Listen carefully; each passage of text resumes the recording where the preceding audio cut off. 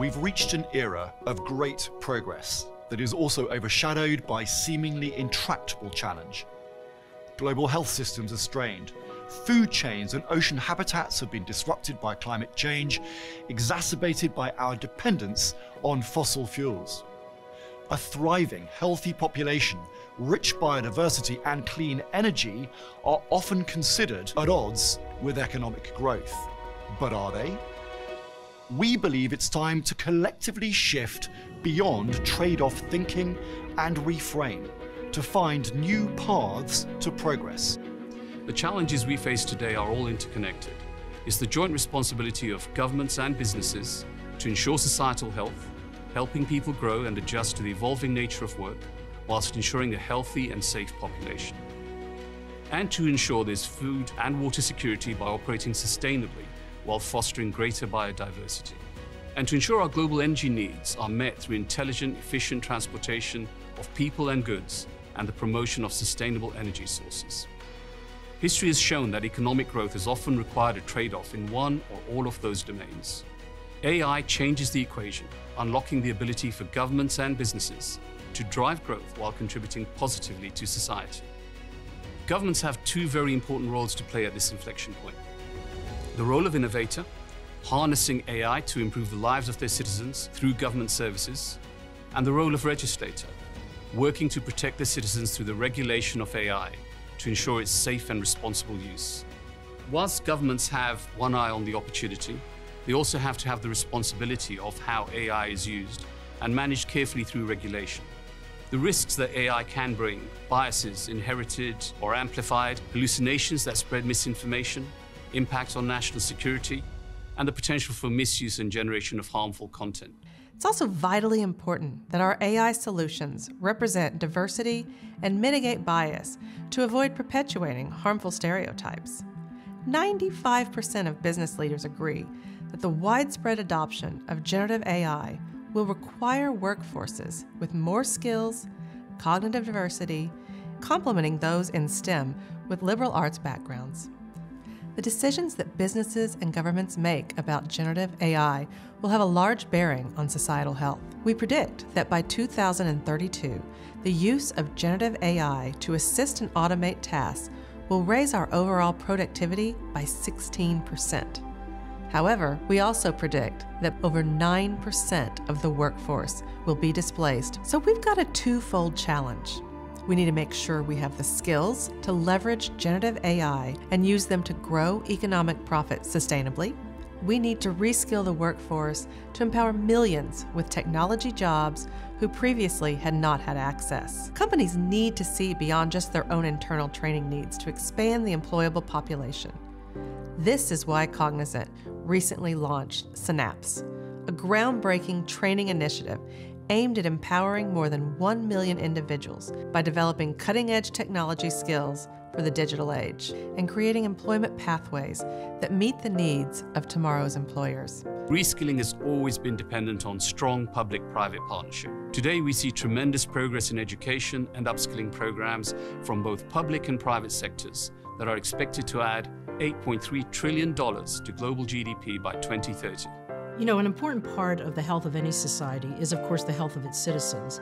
And today we recognize that there are many aspects that influence health, like the environment, access to healthy foods, as well as access to quality care. When we talk about healthcare challenges, of course, cost always rises to the top. And when, according to the World Health Organization, global spending today already accounts for between 10 to 11 percent of global gross domestic product. This is a lot of money, $9 trillion. Then, when you think about applying new technologies, this often in healthcare requires navigating regulatory complexity, interoperability challenges, and at the same time, the need to safeguard patient data. So, the big question then is how do we address both, both privacy and security at the same time, increasing transparency and data interoperability? Generative AI is an exciting technology and it really can fundamentally transform healthcare. We now have more powerful tools to manage to multiple objectives, like meeting fiscal constraints, increasing access to quality care, while at the same time improving the patient experience. We recently built a solution for a global health insurer to expand access to providers, which really turned a cell phone into a doctor's office across Southeast Asia and the Middle East. And while this solution enabled a 35% reduction in outpatient costs, it also enabled a significant cost saving to the client and, just as importantly or more, improved the patient experience. And it also brought healthcare to those who were maybe in areas where it was harder to get healthcare. AI in healthcare really emphasizes the need for public trust. In many cases, people are exchanging their personal information in favor of more knowledge, more freedom, more convenience. The more the public has these incremental moments of trust that demonstrate the value of AI to them and that their faith in these public services isn't misplaced, the more it will encourage broader use in ways people are comfortable with. Societal health means nothing, of course, without water and food security, which is entirely dependent on the health of our planet. As we navigate the challenges of climate change and other risks to our natural environment, Cognizant is focused on the ecological, social, and economic threat of biodiversity and habitat loss. We're also focusing specifically on our oceans, helping to encourage the blue economy, which is the sustainable use of ocean resources for economic growth, improved livelihoods and jobs, while preserving the health of ocean ecosystems. Overfishing, pollution, and habitat destruction pose significant threats to the health of oceans. We can't focus on ocean preservation if we don't understand the impact of our actions. The challenge of the blue economy are really vast. Attacking a whole ecosystem that sustains humanity and is the heart of our planet is very complex. We believe data and digital technologies can help us scale and accelerate our responses to environmental challenges and opportunities. But all that data is irrelevant if it can't deliver actionable insight. Vitally, we need to couple it to advanced analytics and AI to explore it effectively. For us to understand the complexity and to give the ocean a voice, we need to use AI. It's the way to understand how things are tied together, it's a way to understand our own impact. What AI brings to the table is the ability to develop insights from massive amounts of data, to see clearly through the complexity we can build the models our businesses, scientists, and policymakers need to accurately determine what's going on, what will change, and how we can interrupt, prevent, and reverse degradation. The last piece of the puzzle is energy security. Here too, history has shown that it's often a give or take between energy or the environment. But it doesn't have to be. If we can use AI to look at where and how we use energy, it opens new doors for more sustainable practices, particularly in the transportation of goods and people. Today, transportation is responsible for approximately one quarter of greenhouse gas emissions. In almost half of countries globally, transportation is the single largest source of energy-related emissions. For every other country, it's second the population is rising and the needs for individual and public transportation is growing. AI is now unlocking the next generation of sustainable and energy efficient mobility. Sustainable mobility starts with really smart software-defined vehicles or devices, because they can always be updated with the latest features without having to replace components or the entire car. If we now scale up one step further from the product into the area of fleet solutions, software as a decisive building block here.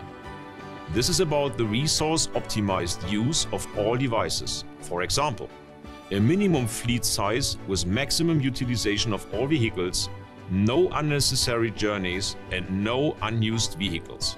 In ocean transportation, low carbon fuels and energy efficient vessels are important. But we can also use advanced data models with AI simulations to shift from manual monitoring and single point solutions to holistic fleet orchestration reducing emissions while saving fuel costs and reducing transit times. Sustainability is not just a way of doing business, but a way of being a business. Today's deeply green businesses embed sustainability thinking into the very core of all they do, from their value chains to their product and service life cycles. Using AI to help optimize their operations in ways that weren't possible before AI allows us to reframe the path of progress to more socially and environmentally sustainable outcomes. AI's ability to solve decision making problems liberates us to seek, define, and solve some of the greatest challenges of our time. Used responsibly, it can help us to solve our most pressing problems, providing opportunities for social mobility, advancing societal health, protecting our planet, and fostering sustainable ways of life, all while serving the interconnected needs of humanity, business, governments, and the planet as a whole.